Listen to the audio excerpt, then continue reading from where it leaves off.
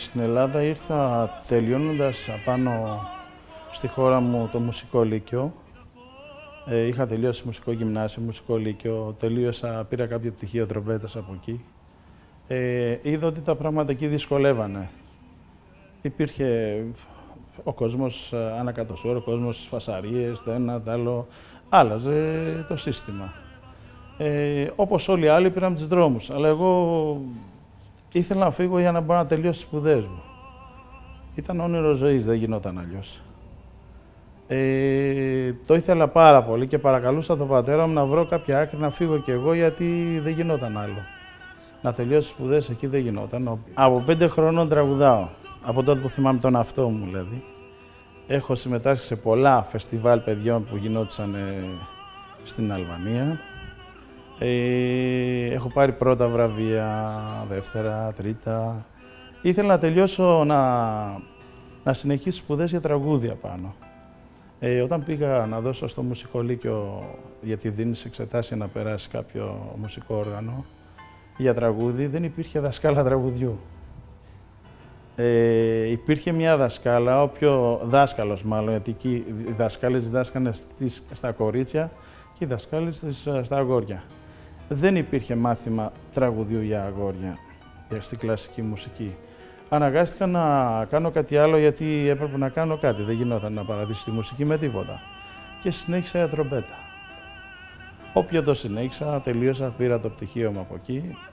Παίρνοντας το πτυχίο, έπρεπε να δώσω εξετάσεις να περάσει ακαδημία στα Τύρανα.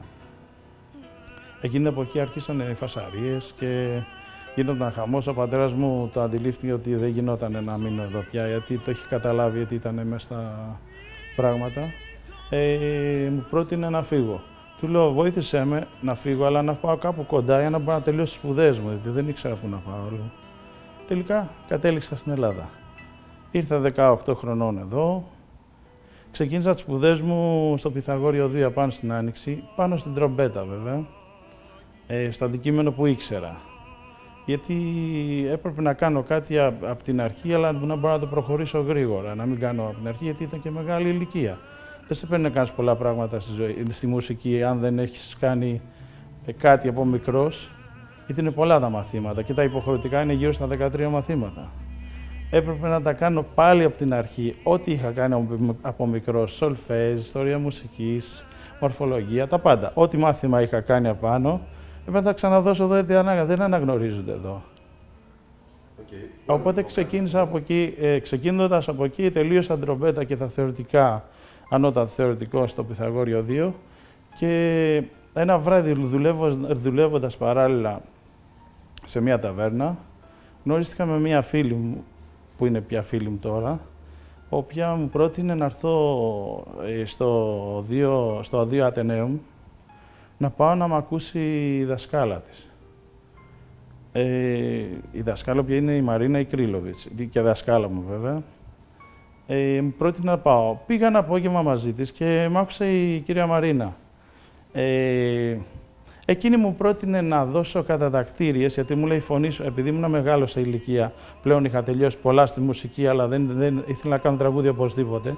Στα 26-27 μου ξεκίνησα το τραγούδι ε, να μου πρότεινε να δώσει κατατακτήριες για να μπορώ να περάσω κάποιες τάξεις, γιατί ήμουν μεγάλος και έπρεπε να προχωρήσω γρήγορα στο τραγούδι.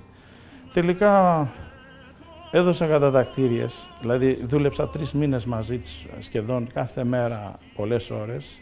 Μου πρότεινε να κάνω πολλά πράγματα και διάβαζα αρκετές ώρες. Φαντάζομαι και τη νύχτα, επειδή δούλευα όλο το βράδυ, δεν προλάβαινα. Για να μην πάρει ύπνος, θα γύρναγα δύο ώρα τη νύχτα από την ταβέρνα Έβαζα τα πόδια μου σε ένα κουβάμι παγωμένο νερό για να μπορώ να, να διαβάζω για να μην πάρει ύπνος. Το πρωί δούλευα ζωοτροφές, κουβαλούσα τσουβάλια όλη μέρα. Την παρτιτούρα βέβαια στο χέρι, το άλλο χέρι το τσουβάλι. Το βράδυ δούλευα σερβιτόρος. Τα απογεύματα σπούδαζω μουσική. Σπουδάζοντας μεν τα υπόλοιπα και έκανα και τα υπόλοιπα. Αργά το βράδυ, ε, μετά όταν ήταν Σαββατοκύριακα που μπορούσα, λέει Παρασκευό Σάββατο, έπαιζα jazz blues σε μαγαζιά. Γιατί έπαιζα τρομπέτα πολύ καλά. Ε, μου άρεσε. Εντάξει, κοιμόμουν σχεδόν καθόλου, μία ώρα, δύο ώρες την ημέρα. Αυτό ήταν κάθε μέρα, επί χρόνια. Ε, τέλος πάντων, ξεκινώντας ε, το τραγούδι, μου δόθηκε ευκαιρία να δώσω κατατακτήρες μέσα σε τρεις μήνες. Τέσσερις μήνες περίπου. Το Γιαννάρη έδωσα κατατακτήρες. Σεπτέμβριο, Οκτώβριο ξεκινήσει. Πέρασα στις εξετάσεις που έδωσα. Είχαν, ήταν επιτροπή γύρω στα 13 άτομα, οποία ήταν μεγάλα ονόματα, όπως ο Κώστας ο Πασκάλης, η κυρία Μορφωνιού, η κυρία Κρίλοβιτς, η διευθύντρια του ΟΔΙΟ, η Λούλη Ψικούλη. Ονόματα που δεν τα γνωρίζω μόνο εγώ, τα γνωρίζω όλος ο κόσμος. Έτσι. Και ήταν και άλλοι και άλλοι και άλλοι πάρα πολλοί. Ε, ακούγοντας τα κομμάτια, κάποια στιγμή δηλαδή τελείωσα, ή, έχω ένα θράσος, μπαίνω μέσα στις εξετάσεις και δεν με νοιάζει. Τραγουδάω και δεν κολλάω πουθενά, γιατί ήταν το όνειρο ζωής, δεν με νοιάζει. Δηλαδή χαμόγελο, ένα άλλο και δεν έχω τρακ ποτέ όταν τραγουδάω. Είναι κάτι που το έχω μέσα, δεν μπορώ, δηλαδή δεν βγαίνει από μέσα. Τέλος πάντων, βγήκα με ένα ύφος, ωραίο και αυτά, ότι τα είπα ωραία. η δασκάλα από κάτω μου είπε εντάξει, είναι όλα OK. Okay. Ε, κατεβαίνω, βγαίνω έξω, με βγάζουν έξω γιατί παίρνουν απόφαση η Επιτροπή να δουν τι τάξη θα με βάλουν. Βγαίνω με τη δασκάλα έξω, λέει στη δασκάλα τι γίνεται, λέει, λέω. Τι είπανε, Α, δεν μου έχουν πει τίποτα, λέει η δασκάλα, θα δούμε τώρα, θα αποφασίσουν και θα μπω μέσα να μάθω τι γίνεται. Ε, μπαίνει η δασκάλα μου μέσα, του λέει τι γίνεται, τι μπορούμε να κάνουμε. Α, λέει, γιατί είχε προτείνει η δασκάλα να με βάλουν ανωτέρα. Ανωτέρα είναι μια τάξη ε, τέσσερα χρόνια πριν από το πτυχίο και το δίπλωμα. Έτσι. Και λένε η Επιτροπή ότι δεν μπορούμε να το βάλουμε ανωτέρα. Γιατί λέει η δασκάλα με ότι είναι λίγο, ξέρεις, αφόρμητη, ξέρεις, έχει το θάρρος και τα λέει. Ναι, είναι άνθρωπος πολύ ανοιχτός. Γιατί λέει, το παιδί τα είπε πολύ καλά. Λέει ε, η κυρία Ψικούλη, διευθύντρια, λέει το παιδί λέει, δεν είναι ανωτέρα, λέει θα το βάλουμε δεξιοτεχνία. Η δεξιοτεχνία είναι μία τάξη πάνω από το πτυχίο. Δηλαδή μία φάση, ένα βήμα πριν από το δίπλωμα. Δηλαδή είναι σαν να δίνω ένα δίπλωμα σε ένα χρόνο. Ξεκίνησα το διάβασμα γιατί ήταν πολύ δύσκολα να τα καταφέρεις γιατί ε, έπρεπε να έχεις κάποια ύλη. Δεν μπορεί να δώσει δίπλωμα αν δεν ξέρεις πολλά πράγματα πάνω στο τραγούδι. Πέρασα κάνα δύο χρόνια στη Λυρική, αλλά δεν πήγαινα το βράδυ στη μεγάλη όπερα. Πήγαινα στη μικρή την όπερα. Τότε υπήρχε και η παιδική όπερα το πρωί, γιατί με, με διεύκολυνε πάρα πολύ. Γιατί εγώ το πρωί μπορούσα να πάω στην όπερα και το βράδυ να τραγουδάω σε πιάνο ρέστορα. Και είχα δύο διαφορετικές δουλειές. Ε, και πάνω στη μουσική. Και ήταν κάτι που αγαπούσα πάρα πολύ. Δούλευα τα απογεύματα που δεν είχα, δηλαδή γιατί η λυρική ήταν τα πρωινά δύο-τρεις ώρες, το βράδυ εγώ πήγαινα πολύ αργά. Τα απόγευμα πήγαινα σε κήπου, δούλευα Κύπρος, συντήρηση κήπων. Ό,τι δουλειά έβρισκα, έτσι, δεν άφηνα τίποτα. Ε, εκείνη τη στιγμή της ζωής που μπορούσα να πάρω τα πάνω μου και να ξεφύγω τελείως, ε, μου τύχαν πολλά πράγματα. Αρρώστησε ο πατέρας μου. Ε, εκείνη από εκεί ήμουνα σε διάσταση με την πρώην σύζυγό μου, οπότε πήγαν όλα πίσω. Έχασα πολλά πράγματα. Έχασα την οικογένεια την εποχή, έχασα τον πατέρα μου τον έχασα μετά από 5-6 χρόνια, 7, ε, τρέχοντας από νοσοκομείο σε νοσοκομείο. Ε, τα βάσανα πάρα πολλά. Αναγκάστηκα να, γιατί είχα το παιδί και δεν μπορούσα να το αφήσω μόνο να παρατήσω τη βραδινή δουλειά. Έχω μία κόρη που είναι 18 χρονών και για εκείνη βέβαια βρίσκουμε τώρα εδώ, γιατί θα μπορούσα να είχα φύγει πιο νωρίς από την Ελλάδα ή να πήγαινα οπουδήποτε αλλού να κάνω κάτι με τη μουσική, γιατί έξω μπορεί να βρεις και ευκαιρίες πολλές. Στο είδος που τραγουδάω είναι λίγες οι ευκαιρίες. Ε, και να βρεις κάτι, ε, θα βρεις το ελληνικό τραγούδι στο λαϊκό πιο πολύ. Είναι παράδοση τώρα, μην λέμε ψέματα. Ε, στην Ελλάδα θα βρεις περισσότερα, περισσότερες ταβέρνες με ελληνική μουσική, μπουζούκια, παρά στο είδος που τραγουδάω πιάνω ρέστοραν ή οτιδήποτε πάνω στην κλασική μουσική. Έτσι. Έχω τραγουδήσει και σαν σερβιτόρος σε, σε ταβέρνες και σε μαγαζιά που παρείστηκα μαγαζιά. Δούλευα σερβιτόρος, άφηνα το δίσκο, αργά το βράδυ έπιανα και τραγουδούσα. Τρελαινόταν ο κόσμος. Δηλαδή, από τη στιγμή που έβλεπε τον άλλο τώρα να σερβίρει και να σηκώνει και να λέει τραγούδια και να, και να μην λέει οτιδήποτε. Δηλαδή, εντάξει, της πλάκας τραγούδια. Δεν είναι τα τραγούδια δεν είναι της πλάκας, αλλά τραγούδια που είναι πιο εύκολα εννοώ, έτσι, γιατί δεν υπάρχει τραγούδι της πλάκας. Όλα τα τραγούδια είναι καλά και αρέσουν σε όλο τον κόσμο. Δεν μπορεί να αρέσει σε όλους, έτσι, σε λίγους. Ο καθένας στο είδος που ανήκει και εκεί που του αρέσει περισσότερο. Στα ακούσματα που έχει. Ε, δεν θεωρώ ότι η Ελλάδα δεν δίνει ευκαιρίες στο τραγούδι. Έτσι. Θεωρώ ότι πολλές φορές είναι και η θέμα τύχης. Εμένα δεν με βοήθησε η τύχη στη ζωή, δυστυχώς. Ε, προσπαθώ δουλεύοντας το πρωί πάλι στην παλιά δουλειά μου στους κήπους. Το βράδυ δουλεύω σε βεζινάδικο. Ε, Μία-δύο φορές την εβδομάδα να τραγουδάω σε πιάνο ρεστοράν. Όποτε το χειμώνα είχα την ευκαιρία πριν τέσσερα χρόνια να τραγουδήσω στη Μεγάλη Βρυτάνια στο ξενοδοχείο. Ε, με φωνάξει κάποιος φίλος μου, ποιος είναι πιανίστας εκεί, ο Πέτρος ο Καρπαθάκης. Μου λέει: Δεν έρχεσαι ένα βράδυ πεις κανένα, καμία άρια, οτιδήποτε, γιατί ο κόσμος εδώ θέλω να κάνω κάτι πολύ όμορφο και να ανεβάσω κάτι όμορφο. Τελικά πήγα για μία Πέμπτη και έχω τέσσερα χρόνια τώρα και πηγαίνω συνέχεια και δεν, δεν ξεκολλάω τη Μεγάλη Βρυτάνια. Μ' αρέσει, είναι ωραία. Είναι στο στυλ μου, είναι στο περιβάλλον, είναι στο... Ανεβάζουμε ωραία πράγματα κάθε φορά. Ε, δηλαδή λέμε διαφορετικά πράγματα κάθε φορά που τραγουδάμε στη Μεγάλη Βρετάνια. Αυτό με κάνει και εμένα να αισθάνομαι όμορφα. Γιατί διαβάζω καινούρια πράγματα, μαθαίνω καινούρια πράγματα. Να έχω επαφή με το αντικείμενο που θέλω εγώ να κάνω. Πολλά πράγματα στη ζωή δεν είναι τυχαία. Έρχονται εκείνη την ώρα που πρέπει και την ώρα που χρειάζεται. Παλεύεις στη ζωή βέβαια. Ε, είσαι έτοιμος, γιατί δεν ξέρεις πότε θα σου έρθει η ευκαιρία να σου χτυπήσει την πόρτα ε, το περιμένεις. Πέρσι, τέτοια εποχή, με είχε πάρει ένας φόβος, δεν ξέρω, κάτι με πείραζε μέσα μου και ήθελα να κάνω μία δοκιμή, να δοκιμάσω τον εαυτό μου προς τα έξω, στο εξωτερικό. Ήθελα να δω, γιατί εντάξει στην Ελλάδα λίγο πολύ ήξερα πόσο αξίζω και τι αξίζω εδώ, αλλά ήθελα να δω και έξω τι μπορώ να κάνω, αν αξίζω κάτι, παραπάνω από τι ε, κάνω εδώ, έτσι. Γιατί βλέπω τα πράγματα στην Ελλάδα δεν πάνε καλά, κακά τα ψέματα. Και εμένα τα χρόνια περνάνε και δεν με παίρνει πια να κάνω υπομονή ή άλλο, δηλαδή να περιμένω αν κάποτε φτιαχτεί η Ελλάδα και κάνω κάτι εδώ. Αυτή την εποχή κάνω τρεις δουλειές και δεν ξέρω πού βρίσκομαι. Έτσι. Το πρωί τρέχω και ξεφορτώνω φορτηγά με τσουβάλι ακόμη την παλιά δουλειά. Το μεσημέρι δουλεύω σε κήπους μέχρι την ώρα, μέχρι τις 2 η ώρα, ξέρω εγώ που βρω, πότε έχω χρόνο και το, βράδυ, ε, το απόγευμα μέχρι αργά το βράδυ δουλεύω σε ένα βεζινάδικο και έτσι είμαι σε τρεις δουλειές. Δεν ξέρω πού βρίσκομαι, δηλαδή που, τι κάνω, πού βρίσκομαι κτλ. Αλλά δε, αυτό δεν με πειράζει. Είναι θέμα επιβίωσης. Πρέπει να δουλέψει να επιβιώσει. Αλλιώς δεν γίνεται. Η μισθή είναι πολύ χαμηλή. Δεν γίνεται δηλαδή να, να, να λες ότι αχ τώρα εγώ πεθαίνω γιατί δεν παίρνω, παίρνω τόσο και... Όχι, πρέπει να παλέψουμε. Έχω μάθει να παλεύω και δεν, με κάνει, δεν μου κάνει εντύπωση αν θα δουλέψω τρεις ή τέσσερις ή πέντε δουλειές στη ζωή μου. Γιατί είναι θέμα επιβίωσης. Τι θες να κάνεις στη ζωή; Ε, Μπαίνοντας στο, μία φίλη μου ε, με έβαλε δηλαδή στην πρίζα που λέω και μου λέει και δεν ψάχνεις στο εξωτερικό μου λέει μέσω ίντερνετ, εγώ δεν έχω καλές σχέσεις με το ίντερνετ και με τα ηλεκτρονικά ε, δεν είχα από παλιά, αλλά δεν είχα τρέλα με τα ηλεκτρονικά συστήματα κτλ. Μου λέει μπες στο ίντερνετ να βρεις που γίνονται οτισιόν σε όλη την Ευρώπη. Και προσπάθησε να φύγεις. Να πάει να δεις τι γίνεται, τι αξίζεις και πώ αξίζεις. Έξω θα σου, θα σου πούνε και τι και πώς. Όχι, δεν το ξέρεις λίγο πολύ, το ξέρεις, αλλά να δεις και παρά έξω τι γίνεται. Γιατί εδώ μέσα ξέρουν τι γίνεται λίγο πολύ.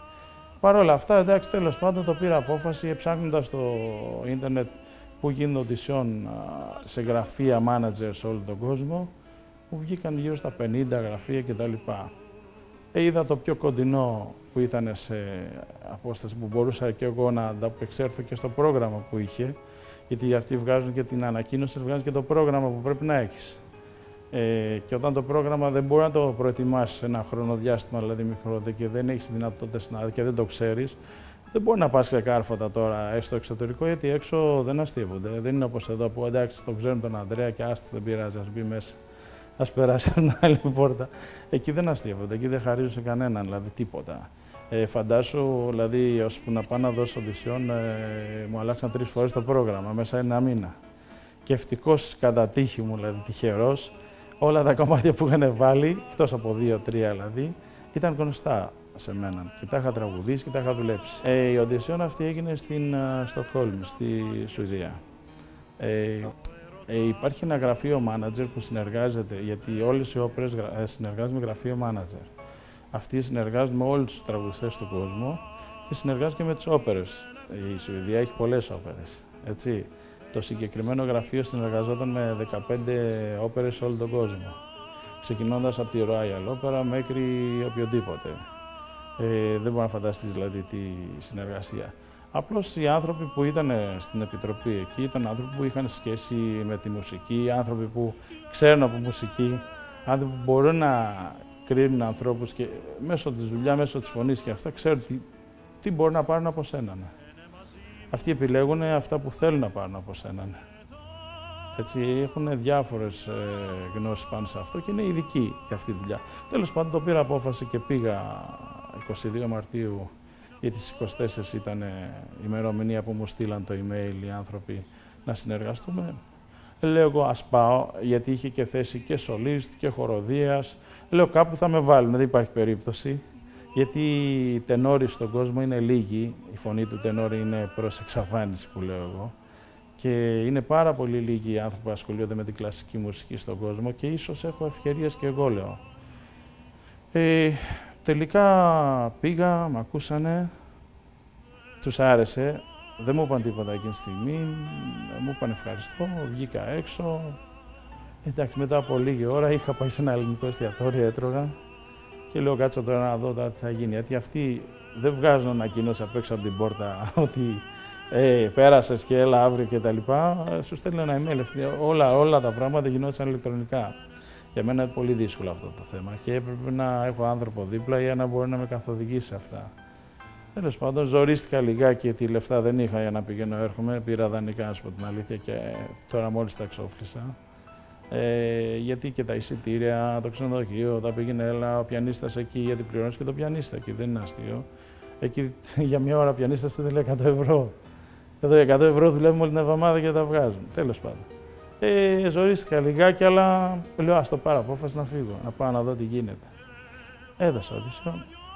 Μου είπαν, ε, μου στείλαν ένα email εκεί που έτρωγα στο ελληνικό εστιατόριο, μου στείλαν ένα email, μου ήρθε ότι οκ, έχετε το δικαίωμα μέχρι 13 Αυγούστου του 2019 να έρθετε και να, ε, να κανονίζουμε το συμβόλαιο σας. Το συμβόλαιο είναι για ένα χρόνο βέβαια, έτσι, αλλά μετά ε, γνωρίζοντας δηλαδή όταν βλέπουν τη δουλειά σου και τους κάνεις τη δουλειά, ανανεώνουν το συμβόλαιο για όλη τη ζωή. Ε, πιστεύω πως ναι, με τα δεδομένα της χώρας που θα ζούσα βέβαια, βλέποντας αργότερα τι ενίκια έχουν, τι πληρώνεις, τι τρως, τι πίνεις και τα λοιπά και πού βρίσκεσαι, περισσεύανε και λεφτά. Αλλά στο κάτω-κάτω, ρε φίλε, δεν πας να μαζέψεις λεφτά με αυτή τη δουλειά. Ε, κάνεις, ε, δηλαδή, προσπαθείς να κάνεις ε, το όνειρό σου πραγματικότητα.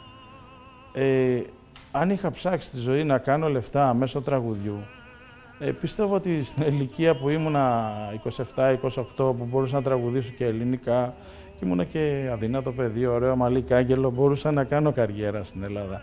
Ήταν πολύ εύκολα τότε τα πράγματα, να κάνεις κάτι στην Ελλάδα. Γιατί τα μπουζούκια είναι γεμάτα. Που... Λέει η Ελλάδα ήταν τότε πάνω στα, στα όπα της. Τα μπουζούκια ήταν γεμάτα κάθε βράδυ, τα ταβέρνε γεμάτα. Μπορούσες να τραγουδήσεις οπουδήποτε και να κάνεις και καρία, να πας σε μια τηλεόραση, να σε ακούσουν και να σε βάλουν. Ε, ίσως ε, διάλεξα πολύ δύσκολο δρόμο. Το δρόμο της κλασικής μουσικής και ελαφρό κλασικό, γιατί αυτά τραγουδάω. Αυτό ήταν ε, όλο, ότι πίστευα πάντα στον εαυτό μου και πιστεύω ακόμη ότι θα μπορώ να κάνω κάτι με αυτό που μου αρέσει περισσότερο. Και αυτό είναι το όνειρο της ζωής του ανθρώπου, να κάνει κάτι για τον εαυτό του. Δηλαδή όσο ζει και υπάρχει. Δεν υπάρχει δηλαδή στη ζωή γιατί δεν θα μπορέσω ποτέ να κάνω, δεν απογοητεύεσαι. Έχω φάει πολλές ήττες στη ζωή μου. Είτε στο θέμα τραγουδιού, είτε στο θέμα συνεργασίας με ανθρώπους στην Ελλάδα που μου έχουν υποσχεθεί πάρα πολλά και δεν μπορούσε να γίνει, είτε εγώ ήμουν, ήμουν άτυχος ε, και γινόταν διάφορα πράγματα εκείνη τη στιγμή και χάλα η δουλειά. Δηλαδή με λίγα λόγια είχα, είχα πάει χιλιάδες φορές στην πηγή και ποτέ δεν είχα πιει νερό. Αλλά το ωραίο είναι ότι αρχίσει μου άρεσε η διαδρομή και το κάνα συχνά αυτό το πράγμα. Επιμένω συχνά, δηλαδή θα επιμένω ώσπου να πεθάνω, δεν υπάρχει περίπτωση. Είναι, είναι κάτι που ε, σου δίνει ζωή, φίλε. Είναι κάτι που ζ- γεμίζει την ψυχή. Αυτό το συνέστημα που μπορώ να αισθανθώ εγώ εκείνη τη στιγμή που τραγουδάω, ε, πιστεύω ότι κανένας άλλος, μόνο αυτοί που έχουν αυτό το χάρισμα με τη φωνή, μπορούν να το ζήσουν αυτό το πράγμα. Δηλαδή, για δύο λεπτά ξεφεύγεις τελείως, ξαφανίζεις, ανεβαίνεις να πάνω στον ουρανό, αγγίζεις το Θεό και ξαναπροσγειώνεις όταν τραγου- τελειώνει το τραγούδι. Αυτό το καταλαβαίνω, το ζω, δηλαδή πολλές φορές όταν τραγουδάω, δηλαδή ξεκινάω ένα τραγούδι, χάνομαι για δύο λεπτά, τρία, δεν ξέρω τι έχω πει, πραγματικά δεν αισθάνομαι τίποτα, δεν ξέρω τι έχω πει δηλαδή εκείνη τη στιγμή. Όταν τελειώνει το τραγούδι καταλαβαίνω τον εαυτό μου ότι τελείωσα, το είπα. Όταν το παρακολουθώ όμως μετά, όταν το έχει γράψει κανένας φίλος, εγώ το, το βλέπω γραμμένο κτλ. Λέω να τα, εγώ δεν έχω κάνει, πάντα διορθώνω κάτι στον εαυτό μου, γιατί υπάρχουν πολλά πράγματα. Αλλά εκείνη τη στιγμή είναι, είναι τόσο όμορφο συνέστημα. Ε, δεν μπορώ να το εξηγήσω σε κανένα. Μόνο αυτοί που ζουν δηλαδή, με το, από το τραγούδι και είναι πρικισμένοι με αυτό το χάρισμα μπορούν να το ζήσουν. Προσπαθώ να δουλέψω πάλι πάρα πολύ γιατί τα έξοδα που θα κάνω στη Σουηδία είναι πολλά. Δηλαδή για να ξεκινήσεις ε, κάτι εκεί πρέπει να έχεις τουλάχιστον 5-6 χιλιάρικα να νοικιάσεις ένα σπίτι, να μπορείς να πας ένα μήνα πριν. Ε, δεν ξέρω πώς θα πάνε τα πράγματα. Πρώτα ο Θεός, μιλάμε ό,τι θέλουμε. Θα το παλέψω, μήπως φύγω. Ε, μέχρι τη 13 Αυγούστου ναι, αλλά μέχρι 13 Αυγούστου αν δεν μπορέσω να μαζέψω αυτό που πρέπει, ε, δεν θα μπορέσω να πάω να υπογράψω. Ε, πρώτον. Και δεύτερον, δεν με νοιάζει και τόσο, ας πω την αλήθεια, ε, έχω μάθει τις αποτυχίες στη ζωή μου. Δηλαδή μου έρχονται μία πίσω από την άλλη και προσπαθώ να ζω, να τα, να, δηλαδή όλες τις αποτυχίες που έχω πάθει στη ζωή μου, αυτό, όλα αυτά που έχω πάθει στη ζωή, τα βλέπω σαν ένα παιχνίδι της ζωής. Ε, είναι πολύ όμορφο να ζεις με τα βασανά σου, με τα προβλήματά σου, ε, το καθημερινό σου, να ζεις ε, δηλαδή σαν άνθρωπος. Δηλαδή να αισθάνεσαι ότι και ο πόνος και το βάσανο και τα εμπόδια είναι για τον άνθρωπο. Δεν ξέρεις πού θα σε πάει η τύχη. Αφήνεις τον εαυτό σου, διαβάζεις, κάνεις προσπάθειες συνέχεια, συνέχεια, επιμένεις, επιμένεις και μπορεί και ποτέ στη ζωή να μην γίνει κάτι, δεν το ξέρεις. Αλλά όμως προσπαθείς. Δεν κάθεσαι με, δηλαδή, δεμένα τα χέρια να πεις «Α, εγώ εδώ τελείωσα, τα έκανα, ό,τι μπορούσα έκανα και ως εδώ». Δεν γίνεται αυτό το πράγμα. Δηλαδή, προ- ε, προ- πιστεύω ότι το να επιμένεις στη ζωή κάποια στιγμή θα βγει. Τώρα δεν ξέρω πού θα καταλήξω και τι θα, τι θα κάνω στη ζωή, γιατί μπορεί αύριο το πρωί να ξυπνήσω και να μου πάρει ένα τηλέφωνο να πούνε «Ελάτε να κάνεις αυτό που θες ε, στο τάδε μέρος ή σε, κάτι, ή σε κάπου αλλού». Ε, θα είναι πολύ δύσκολο και για μένα μην νομίζω ότι είναι εύκολο να φύγω Σουηδία ε, και οπουδήποτε αλλού, έτσι. Γιατί δεν ξέρω τη γλώσσα, δεν έχω τις γνώσεις στις ξένες γλώσσες, δηλαδή γιατί η Σουηδία δεν ε, θέλει να είσαι άριστα στα αγγλικά, πρέπει να αρχίσει φροντιστήρια στα σουηδέζικα. Ευτυχώς που εκεί είναι δωρεάν βέβαια, ό,τι μου είπαν οι φίλοι μου εκεί. Είναι δωρεάν τα φροντιστήρια και το κράτος προσφέρει δωρεάν, δηλαδή να μάθεις τη γλώσσα κτλ. Ε, θα είναι δύσκολο. Δεν έχω τις γνώσεις που έχουν αυτοί. Μπορεί να έχω τη φωνή, μπορεί να είναι- έχω πολλά πράγματα που αυτοί δεν τα έχουν. Ε, το χαμόγελο, το γέλιο, τη χαρά που έχω μέσα στη φωνή και τα λοιπά, το χάρισμα, αλλά δεν έχω άλλα πράγματα. Και γι' αυτό δεν θέλω να, να πω μεγάλες κουβέντες. Βέβαια, επιμένω. Προσπαθώ και θα το δοκιμάσω.